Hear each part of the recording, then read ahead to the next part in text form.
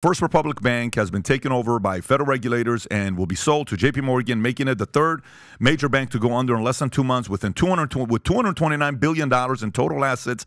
At the time of closure, First Republic Bank has become the second largest bank failure in American history, 90 days apart, by the way, losing about 40% of its deposit in the first quarter of the year amid rising interest rates and after the failure of Silicon Valley Bank and Signature Bank earlier this year, causing a growing cohort of depositors to move their money to banks seen as safer and offering more attractive returns. As of mid March, about 70% of First Republic deposits were uninsured. That's that's a big number, meaning they were larger than $250,000 guaranteed limit. The FDIC estimates the cost of First Republic uh, receivership will be about $13 billion, less than the $20 billion that is estimated at the cost of Silicon Valley Bank. First Republic's 84 branches in eight states will reopen Monday as branches of JP Morgan Chase. Tom. Well, you know, some of you may walk down the street in quaint little towns and you'll notice a garage sale and you go up, maybe buy a trinket, get lucky, find an old baseball card there. Uh, Jamie Dimon on the weekend walks down the street and buys banks. And this is Chase. this is Chase. Hey, there's First Republic. Do you take a check?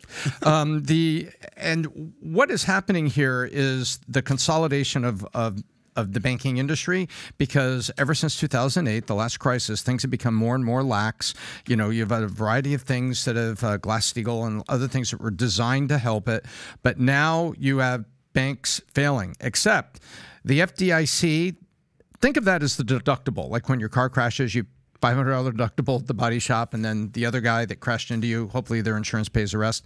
Well, the FDIC, a little sticker on the window that says $250,000 deposit, think of that as the deductible. But now Janet Yellen when SVB crashed, they created that new vehicle that the banks can get their hands on, which protects $250,000 and up. So it basically goes like this it, it promotes irresponsibility mm -hmm. because now the banks can be very irresponsible because FDIC will get part, Janet Yellen and Treasury will get the other part, and then the bank will get bought because there's loans in there. There's car loans, home loans with good people and things. And JP Morgan says, I'll take those loans over here, I'll collect the interest on them, and I'll help you out. And so what is happening is a consolidation of banking, and then unstable banks are are failing. Um, this is also is very interesting. Is SVB and um, First Republic JP Morgan, specifically Jamie Dimon, is trying to walk back into Silicon Valley to have a foothold there. Remember, it was 2016. that He was the first of the big banks, and he came out in an annual banking letter and he said, Listen, Silicon Valley is coming. They're smart, they're clever, they're going to take away consumer pain points, and they're not going away, and they don't take prisoners. So he was warning the traditional banking industry of basically the looming fintech. And he's trying to come back in and make himself. Um, you know, relevant, make JP Morgan relevant. Three years later, he says, oh, you know, um, I just want to let you know, Chase is not a tourist. We're not just visiting. This is not a lecture tour that we're doing here in Silicon Valley. We're here and we want to do things. And so you're you're basically seeing Chase saying it wants to be the biggest, and they're they're not. I even, respect that. I respect I do that. Too. Listen, Sandy Weill uh, had a chance when the whole story went you know, uh, uh, Jamie Dimon used to work for Sandy Weill. Sandy told Jamie, "Do whatever you want to do, run the company." The first thing is, uh, Jamie Dimon does is fires his daughter. it's a very wild story. And then the wife says, "What are you doing? You let this guy that. fire your daughter?" He says, "You can't fire my daughter." He says, "You told me to run the company." He used to be a Citi guy, so everybody knows in that world. If you're gonna talk about the Michael, the Kobe of this era, Jamie's the guy, and he's not slowing down. And he's going to be a guy that when you're thinking about someone's going to be a, you know, company to buy, everybody points at Jamie. So he's done a great job. You got to give him credit. But the question now becomes quietly, as much as they want to downplay this, how many people are now sitting there saying, listen, man, I'm not waiting anymore. We're part of a regional, we're part of a community, we're leaving. Just go to one of the big five.